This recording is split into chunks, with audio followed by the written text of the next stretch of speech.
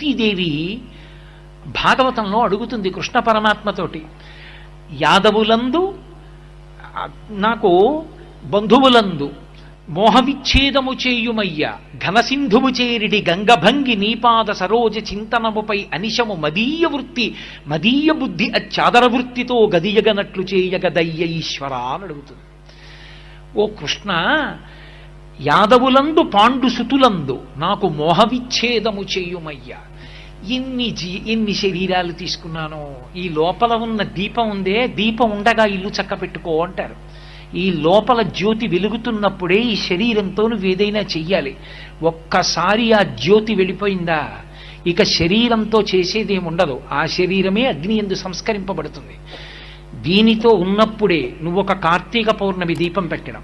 దీంతో ఉన్నప్పుడే నువ్వు కీటాపతంగాహమశకాశ్చ వృక్షాహ శ్లోకం చెప్పడం. దీంతో ఉంటేనే నువ్వు ఎవరికైనా ఉపకారం చేయడం. దీంతో ఉంటేనే నువ్వు నదీ స్నానం చేయడం. దీంతో ఉంటేనే నువ్వు భగవన్నామని చెప్పడం. ఇందులోంచి బయటికి వెళ్ళావా?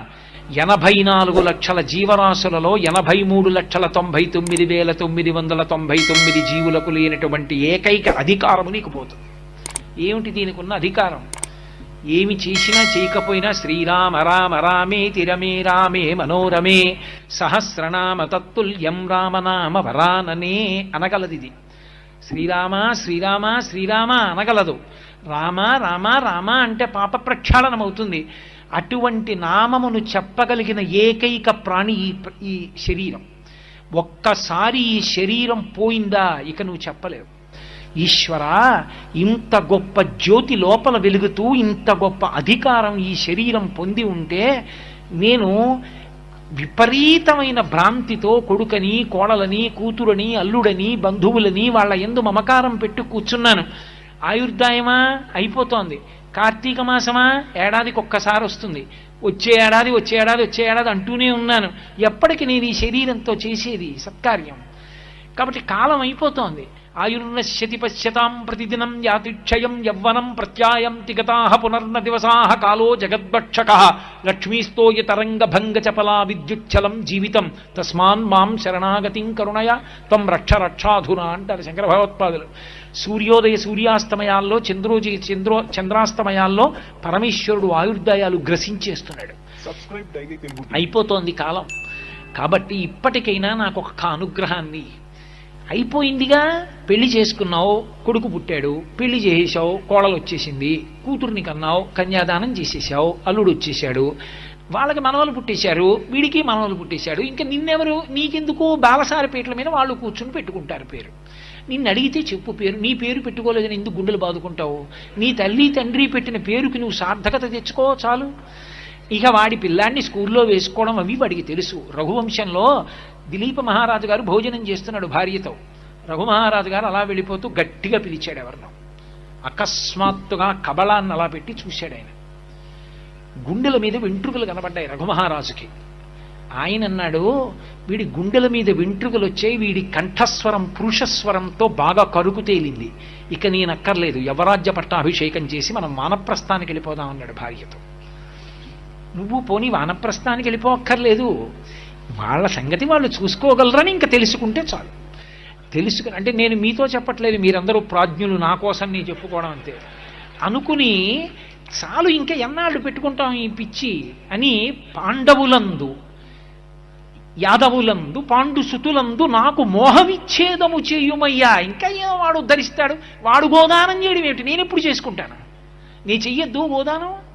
అందుకని నేను చేసుకోవాలన్న తాపత్రయం నాకు రావాలి. నాకు మోహవిచ్ఛేదము చేయుమయ్యా.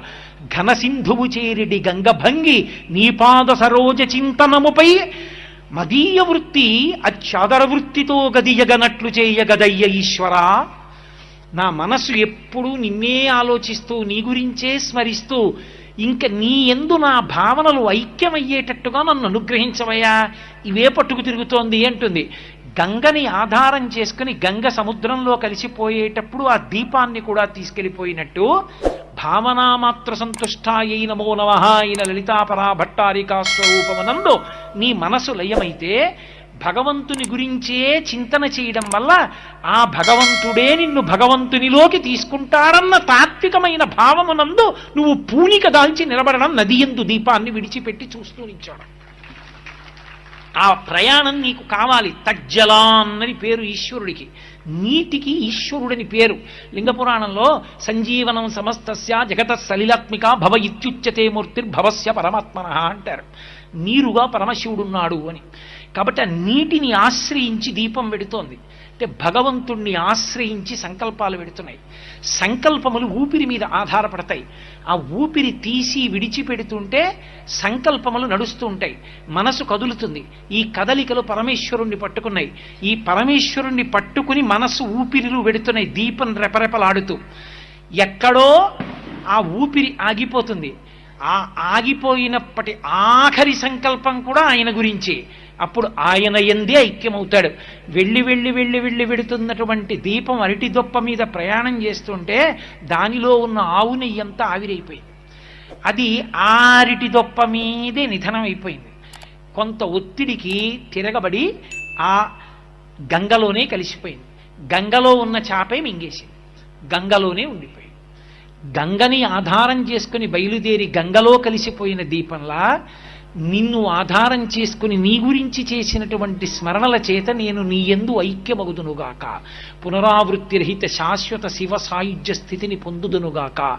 అన్న పూనికని పెంచుకోవడం నీటిలో దీపాన్ని విడిచిపెట్టడం. అందుకొరకు అరటి దొప్ప మీద విడిచిపెడతారు. ఎందుకని? మళ్ళీ జలభూతమునకు ఇబ్బంది కలగకూడదు. మనం చేసేటటువంటి పనులు ఇతర ప్రాణులకు హాని కలిగించేవి కాకూడదు. అరటి దొప్ప లాంటివి నీటి ఎందు నానిపోయి లోపలికి వెళ్ళిపోయినా జలచరములు తినగలుగుతాయి. అంతేకాని నేను పెట్టుకున్న దీపం నీటి మీద బాగా తేలాలని నీటి ఎందు కరగని పదార్థాన్ని మీరు వినియోగించారనుకోండి అవి నీటి ఎందు ఉండేటటువంటి భూతములకు మళ్ళీ మీరు అపకారం చేసిన వారు అవుతారు అప్పుడు మనుష్య ప్రాణికి చెయ్యవలసినటువంటి కర్తవ్యమునందు దోషం వస్తుంది. కాబట్టి అరటి దొప్పలో దీపం పెట్టి విడి విడిచిపెట్టండి అన్నారు పెద్దవాళ్ళు. కార్తీక దీపము అన్నదొక్కటే అంత ప్రాశస్త్యం వహించింది. అందుకే కార్తీక మాసంలో దీపం వెలిగిస్తే చాలు. దీపం వెలిగించండి అన్నప్పుడు దీపం వెలిగించాలి తప్ప పట్టుకెళ్ళి కర్పూరపు బిళ్ళల దేవాలయంలో ఎక్కడ పడితే అక్కడ వెలిగించడం వెలిగించేసి ఆ జ్వాల రేగిపోతుంటే ఎవరి చీరకో అంటుకుంటుంటే వీడి నేను దీపం పెట్టి పుణ్యం మూట కట్టుకున్నాను నమస్కారాలు చేయడం అవి దోషభూయిష్టమైనటువంటి పనులు. దీపం పెట్టడం అన్నప్పుడు దీపాన్ని ఎక్కడ ఉంచడానికి అనువైన ప్రదేశమో అక్కడే దీపాన్ని ఉంచాలి.